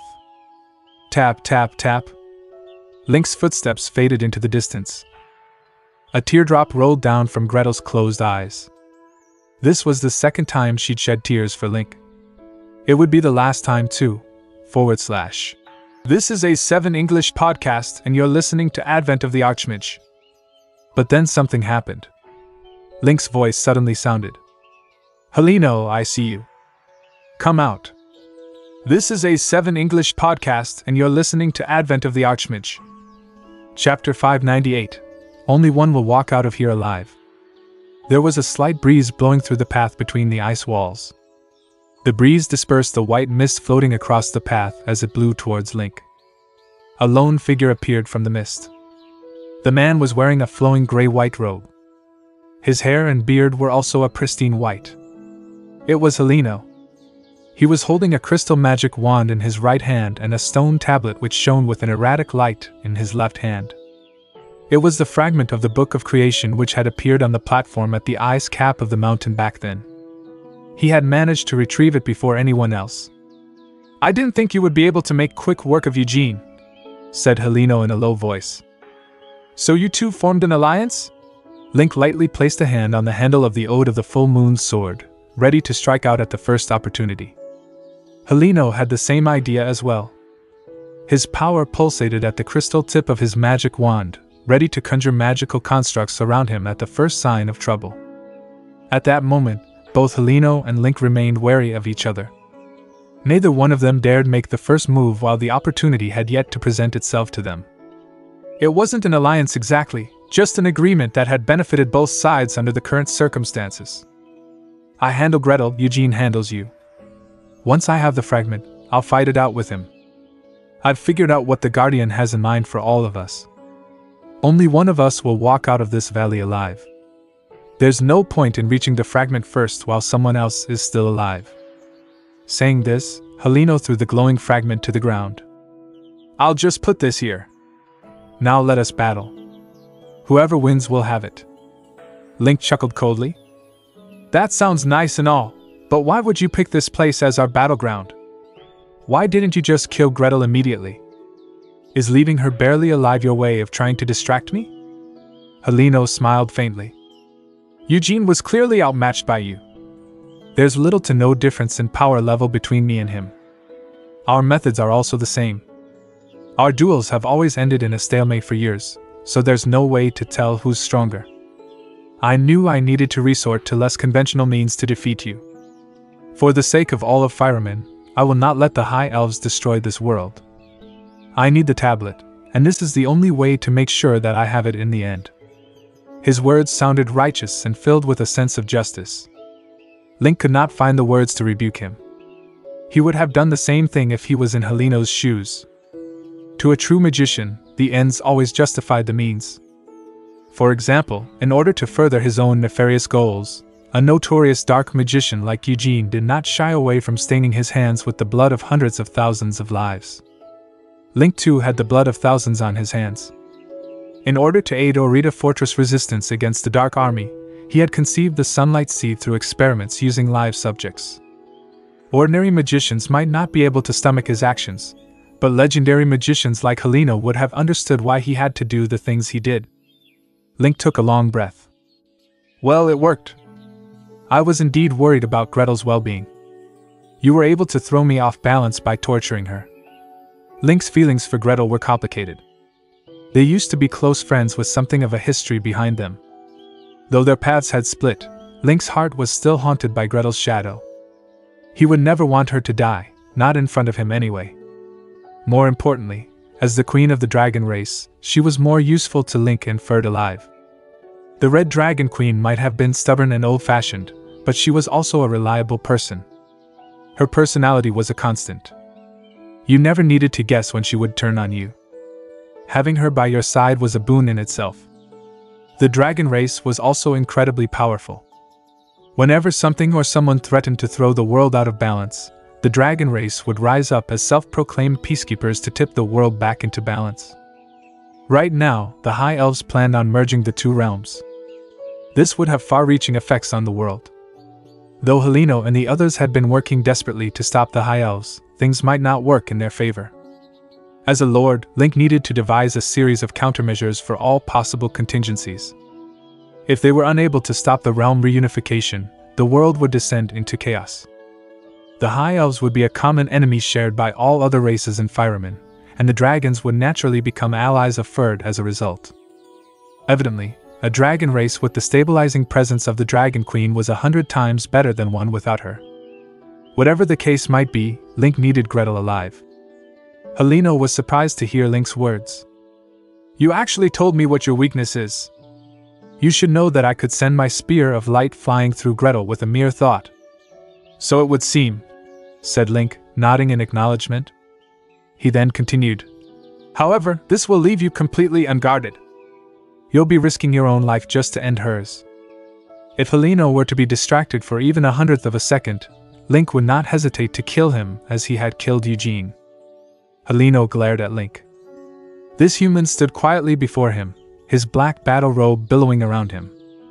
He looked more like a hardened warrior than a magician with that magic sword he was holding in his hand.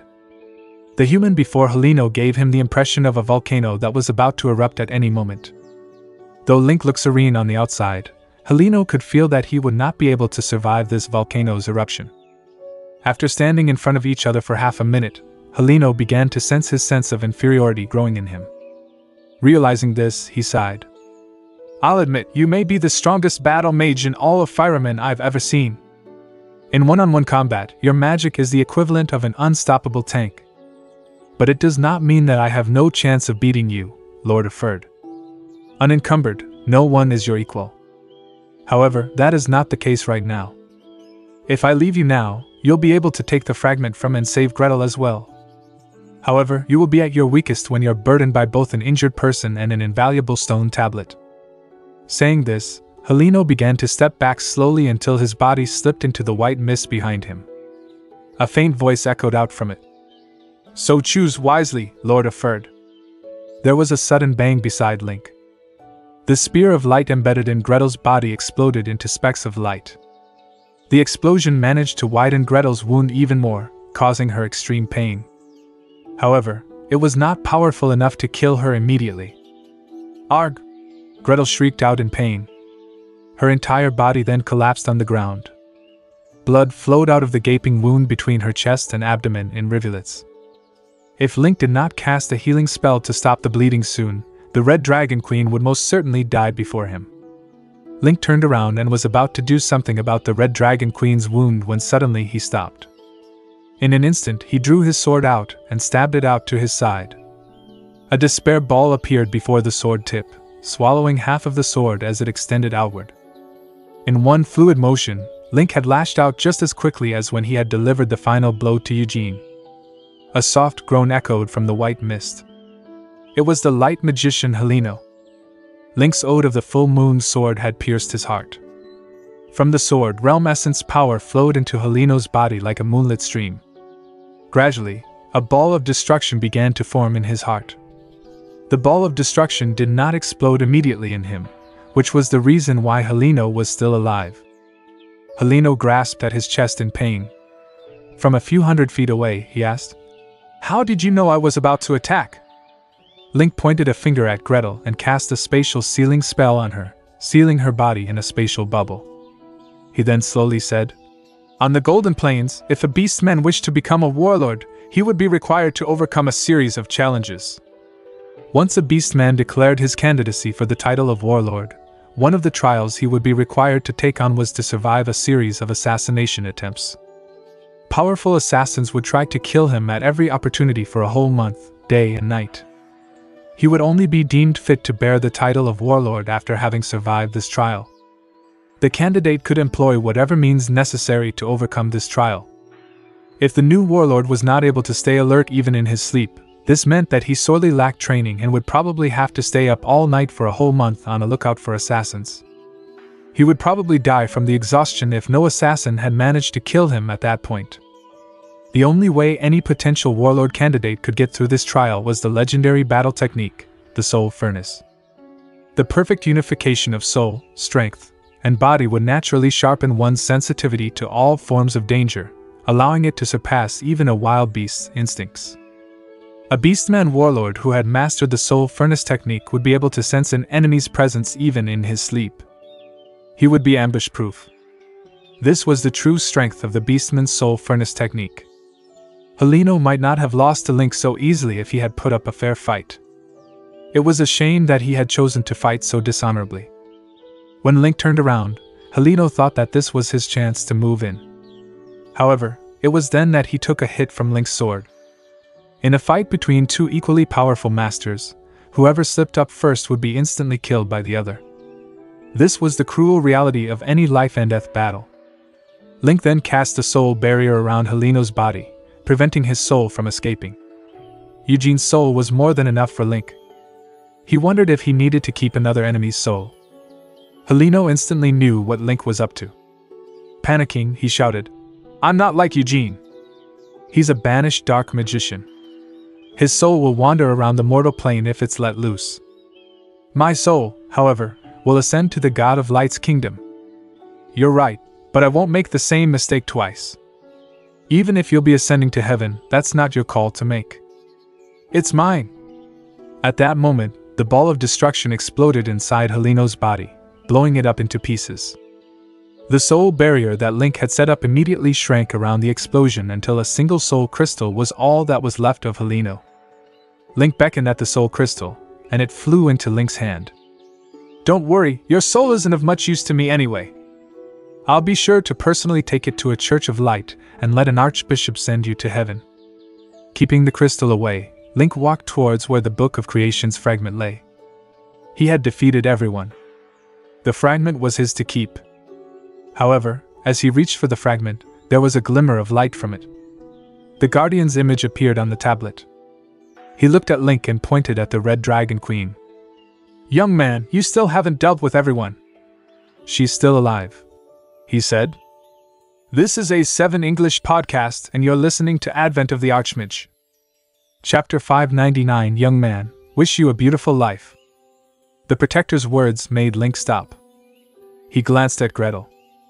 She was frozen in the spatial seal. A bloody gaping hole practically went straight through her. Her entire body was covered in blood. Flesh lay on the ground around her. Her frozen eyes were opened listlessly. Her pupils had started expanding, but her head was raised slightly. Her gaze was directed at Link's current position. Her expression was complicated. There was some happiness but also bitterness. No one could pinpoint her thoughts. Something was clear though. If Link removed the spatial seal and didn't receive any help, she would die within a few minutes. She doesn't have any power to fight back. Link didn't want to do it. She doesn't now, but you won't let her die. You have enough power to save her. As long as she's alive, she will try to destroy the Book of Creation Piece. She will be your opponent. So if you let her live, you won't be able to get the piece. The Protector's words were heartless. He'd given Link a very cruel choice. He could either choose the Book of Creation or choose to save Gretel. He could only choose one. Judging from the performance earlier, the Protector was abnormally strong, reaching level 19. Link had no confidence to break through the obstacles set by something like that. People can change. She might not be that insistent. Link tried to persuade the Protector. The Protector shook his head. It seems that you don't know her well enough. Can you easily persuade a Dragon Queen who has lived for more than 2,000 years and seen all the horrors of life? No, you can't. No one can change what she's already decided. You can't either, young man. He emphasized the last two words, pointing out Link's age. He wasn't wrong. Link may possess great power now and experienced more than most humans, but he was still in his 20s. Even if he added his days from both worlds, he wouldn't be older than 50. His experiences and knowledge couldn't help him understand someone that had existed for 2,000 years. It was like how an innocent child couldn't understand an adult. They could live under the same roof but weren't living at the same level at all. This was a fact. Link couldn't refute it. Seeing that Link admitted it, the Protector continued The Book of Creation contains unlimited power. Once you have it, you'll stand at the peak of Firuman and become the ultimate sovereign. At the peak, there is freezing wind. Countless people will have their eyes on your power, trying to steal your glory. Your closest friends will stab a dagger into your heart. Your most trusted will give you poison wine. Your lover will become the one who ends you. If the sovereign wishes to remain for eternity, you must be lonely. So, end her life. The protector's words were magical. When he spoke, different images appeared in Link's mind uncontrollably. In the images, Iliard stared at him from a dark corner with hatred. When he was sleeping, Celine's hands gripped around a poisoned dagger. The reports Lucy gave him were all faked, they were images of all his friends betraying him. Other images appeared too. They weren't about him anymore. Instead, they were historical events from Firuman and Earth that he'd read before. In these images, the kings and emperors were all alone. To get the throne, fathers killed sons, brothers killed each other, and mothers killed sons. There were endless tragedies and unspeakable darkness. Whoosh, whoosh. Cold wind sounded in Link's ears. He thought back to the Protector's words. If the sovereign wishes to remain for eternity, you must be lonely. At the peak, there is freezing wind. Yes, the wind was too bone chilling. They were only hallucinations, but even with his strong mind, Link still shuddered subconsciously. The Protector's shadow had a pair of glowing eyes. Those eyes seemed to see through everything. Looking at Link, he could see his soul. Young man, what is your choice? Lonely glory or a mortal's happiness? Link looked at the bloodied and dying Gretel again. After a pause, he said, I choose. To be honest, he didn't know what to choose. This was the first time he felt lost after coming to this world. Before he could finish, his vision flashed quickly. He glanced and saw the mission from earlier, the piece that shouldn't exist. The mission flashed with blinding red light. It wasn't just to show its existence, but also to remind Link that the God of Light wanted him to destroy it. At the same time, the sword spirit's voice rang in his mind again. Another voice appeared in my mind. It said one sentence All existences in the world have hearts. If one's heart is blinded, the world will have no light. The sentence was mysterious. After hearing it, Link's heart twitched. Something flashed past his mind. It was fleeting, like a rabbit sprinting in the grass, but he could see the blurry figure. Experience told Link that if he couldn't decide, then he shouldn't get affected by the outside world and decide brashly. He should think carefully to prevent making an irrevocable mistake. Thus, he shut his mouth and fell silent again. What is your choice, young man? The protector urged. Link shook his head. I haven't decided. You've already waited for so long. You can wait a bit longer, right? Indeed, I will wait for your decision. Link thought back to the sword spirit's words. He composed himself and carefully sensed his surroundings. More than ten minutes later, a light flashed in Link's mind. He had a hypothesis. Nothing is restricting my power recovery, and the space isn't sealed. I can still use spatial magic. Does that mean that the restrictions on transmissions and flight aren't real? Thinking of that, Link ignored the protector and took out the Ode of the Full Moon. He started practicing the Soul Furnace battle technique. He went through each move slowly. His thoughts were sinking too. After a long while, Link's heart suddenly jumped. There was something abnormal. It was in his soul rather than the environment. With the help of the Soul Furnace, Link was able to focus completely. His soul entered an indescribably calm state. It was as smooth and flat as the surface of a mirror. Right now, Link's heart had no disturbances. He didn't have any emotions. He was completely calm. There were many reasons why he could reach this state. Firstly, there was the Soul Furnace, a legendary battle technique. Secondly, Link had the pure realm essence. It was abnormally perfect and basically gave Link zero disturbances. More importantly, Link had high control over his soul. In this calm, Link could sense the tiniest shred of abnormalities. Now, he could feel several strange thoughts in his soul. After sensing carefully, he found three. Two were clear. The first was that he couldn't use transmission spells while getting to the piece. The second was that he couldn't fly in the valley. These were the requirements given by the Protector. Another thought was blurry. Link sensed it carefully and discovered it was very fuzzy evil intent. It came from the Protector. It was hard to explain, but it activated Link's stress mechanism. After this was activated, the changes in his soul influenced his entire body, which affected his power. After this avalanche like chain effect, Link's body thought that everything in the environment was harmful and subconsciously rejected absorbing the power. All existences in the world have hearts. If one's heart is blinded, the world will have no light.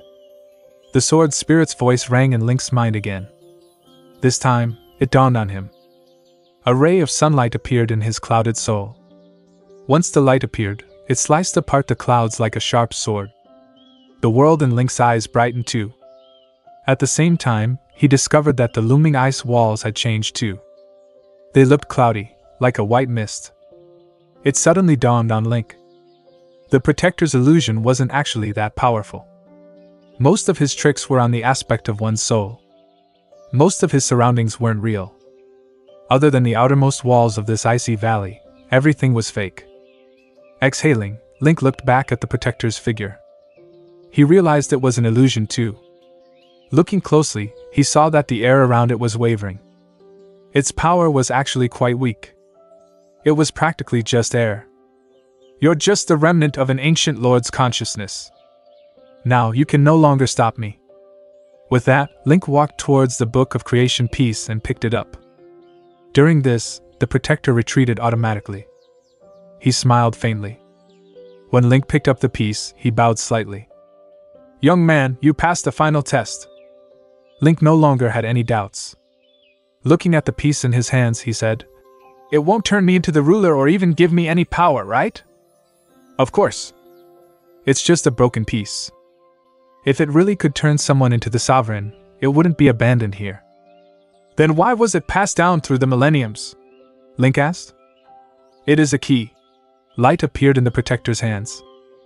When it dissipated, all illusions in the ice valley disappeared. The freezing wind, icy snow, and extreme frigidity appeared one by one, showing the true appearance of the extreme north. Whoosh, whoosh. Freezing wind blew endlessly, scraping Link's face like knives. He was forced to cast a level 5 spell to fight against the cold. The Protector's illusion wavered in the wind and snow. He pointed at the tall mountain behind him.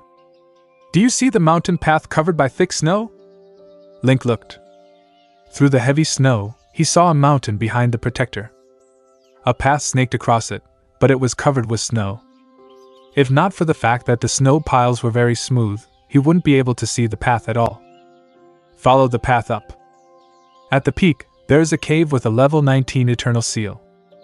The key is in your hands. Young man, I wish you a beautiful life. After that sentence, wind blew and the protector transformed into snow, melting into the tundra. Link glanced at the corner again. The game system's mission was still there, but it didn't flash anymore. The blood red color had turned gray too. Behind it, it said, Discarded. This surprised Link slightly. The God of Light can be wrong too? He'd always thought that the God of Light was very powerful and knew practically everything about Firuman. Apparently, he was wrong. Thinking back, this wasn't the God of Light's first mistake. Back at the Abyss City, he'd been fooled by the god of destruction. It seems that the god of light isn't as powerful as I thought. He can't control level 19 strength in the mortal world. This detail helped Link see the god of light's bottom line. He was powerful but not impossibly so. He had many flaws in his control of Firuman. Of course, Link was still too weak. It was too soon to think of this. Shaking his head, he tossed the thoughts to the back of his head. Activating a levitation spell and void walk, he followed the mountain path to the peak. Seconds later, Link was before a 10 foot tall ice crystal. At a glance, it was just a normal block of ice. At closer inspection, Link saw that it was covered in runes. They were innumerable and complicated. He felt like his head would crack apart at just a glance, so he gave up. When he walked up to it, the piece in his hand brightened and buzzed. It started shaking, almost leaving his hands. Link let go, and it immediately floated to the crystal door. Then, like water fusing into a river, it disappeared. A few seconds later, the crystal door shone too. Five seconds later, there was a soft poof, and the door disappeared. A tiny hidden chamber appeared. Pale blue light came from it, as well as a lovely and ethereal sound. Link walked in, and his eyes widened. He saw two people inside the room. No, more correctly, it was two dried corpses. This is A7 English podcast, and you're listening to Advent of the Archmage. Chapter 600 Book of Revelation, Rasso's Book of Spirits, 1 half. The interior of the ice cave looked like an ordinary living room. It was approximately 100 square feet wide. There were two semicircular bookshelves hanging on the walls. In a corner of the room, there was a smaller room with an embroidered screen blocking its entrance. Through the screen, one could see a large bed in it. This must be the bedroom. In the main room, there was a large circular table. Beside the table sat the bodies of a man and a woman. Their corpses were still intact, despite the fact that they had been desiccated thoroughly and now looked like a pair of withered branches. The expressions on their faces remained the same as when they were still alive. The man was reading a magic book, while the woman was busy carving a golden bird figurine. Their faces were serene. The man even seemed to be talking. There was a magic book which emitted a faint blue glow in the middle of the circular table.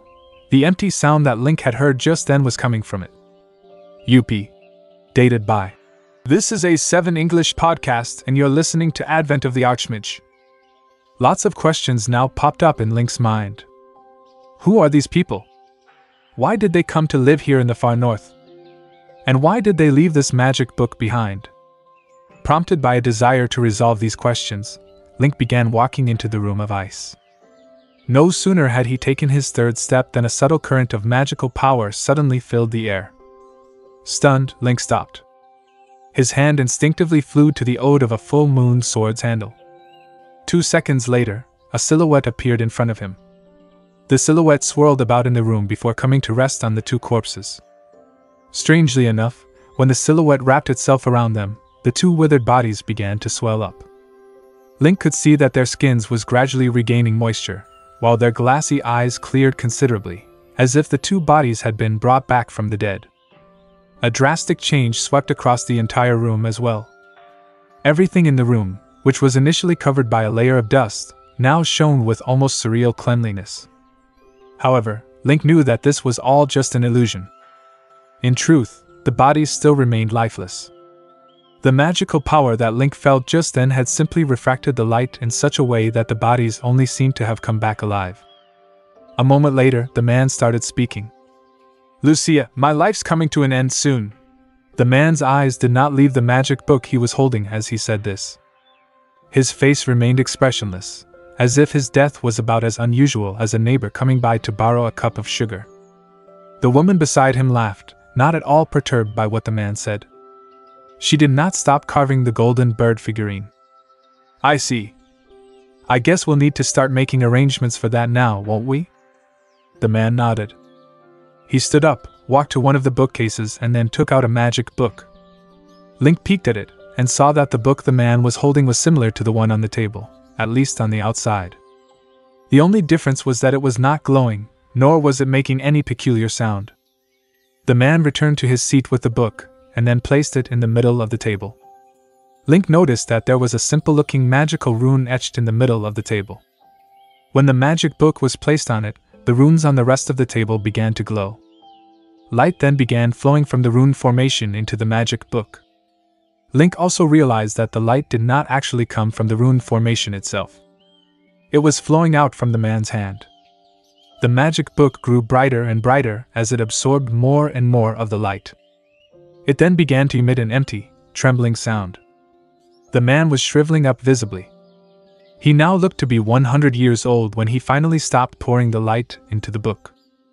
Dear, we can live for close to a thousand years with this power if we want to. Will you be angry at me for doing this? said the man ruefully to the woman sitting beside him. No, Rosso, there's always a beginning and an end to all life. We've completed our respective journeys in life. Another thousand years would only be torment for our souls, said the woman, shaking her head. Link noticed that for some reason, the woman's face had withered like the man as well. This couple must have used some kind of spell to bind their life forces together, thought Link. Just then, the man, who was still barely alive, took out a pencil and began writing slowly on the magic book before him. The woman, not at all concerned about death's approach, continued carving the golden bird figurine. The man began reading what he was writing. I am Rosso Schneider, I started studying magic when I was 28 years old. However, the first three years of my studies had been uneventful. When I was 31 years old, I stumbled across a soul stone. For whatever reason, it chose me, granting me an incredible potential for the mystic arts. Ten years later, I was given the honorable title of Soul Dominator. Another ten years later, I began studying prophecy magic for five years, but without any noticeable progress. One night, when I was looking at the stars, I had a sudden epiphany. At that moment, I realized that one needs to receive the realm's blessing in order to master prophecy magic. No amount of rigorous training was going to help me accomplish that. The man was writing his life story in the book.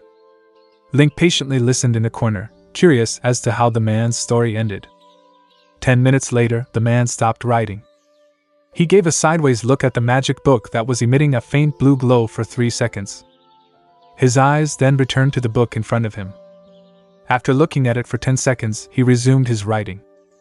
The gift of clairvoyance had allowed me to see what the future holds. It was both a blessing and the most terrifying curse one could hope to receive in this realm. I had lost all hope in life. In order to recover the hope I had lost, I had struggled upstream against the river of time, peering into the future until at last, I saw a turning point, 120,000 years into the future. 120,000 years later, the realm's timeline had diverged into multiple branches. It was like a tree that had begun to branch out, creating multitudes of possible futures. Some of these futures I had seen were bleak, some even completely annihilated. However, there were also some filled with light and hope. The possibilities were endless. 120,000 years was too long a time. Even if I ascended to godhood, I would not be able to live that long to see which future unfolded. I have seen my end. I have received the realm's blessing, and then I will fade from this world as quietly as I had entered it. And so, I have decided to leave the Book of Spirits behind for posterity. The man finally put down his pencil. He lifted his head up and looked at Link. He then spoke, his eyes seemingly focused on nothing in particular. To the future possessors of this book, your identities are legion demons, beastmen, servants of the god of destruction, elves, or even humans. Whoever you may be, the fact that you have come this far means that you have passed the Guardian's test. You now have the right to possess this book. Take it.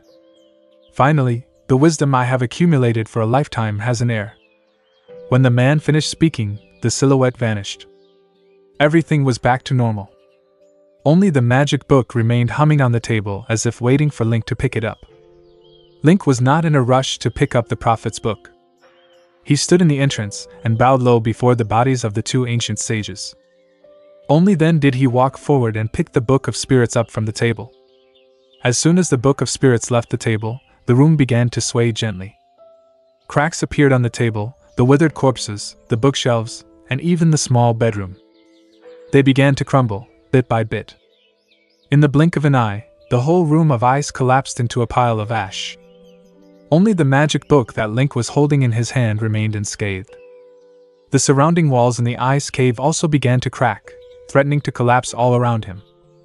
At that moment, Link cast a spell to keep the walls intact as long as he could. The sword spirit's voice sounded in Link's head. He's the soul dominator. He was the most powerful entity to ever exist in ancient times. He was the ancestor of Celine Flandre as well as a good friend of the Storm Lord.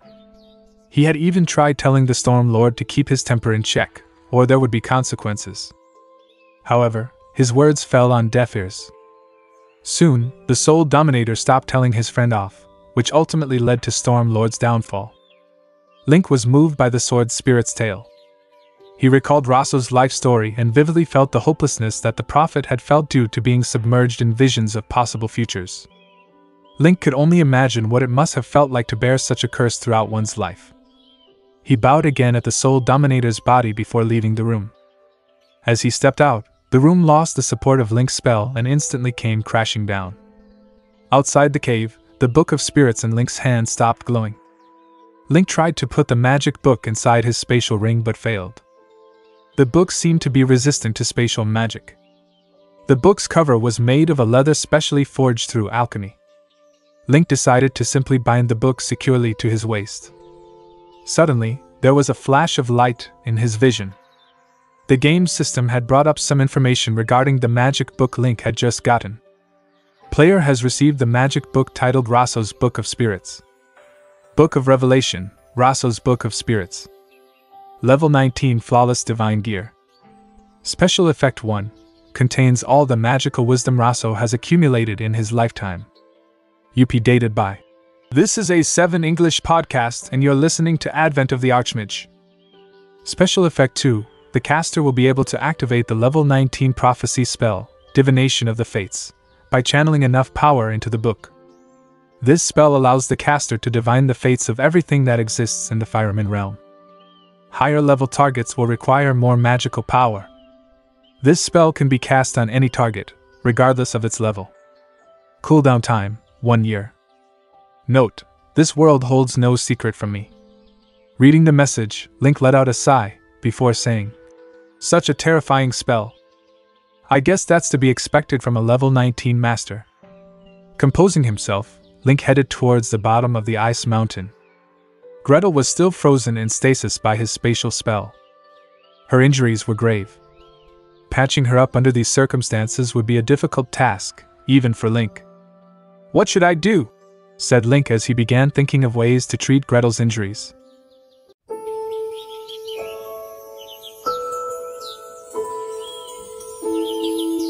Please subscribe to A7 English Podcasts and enjoy listening every day with us. Thank you.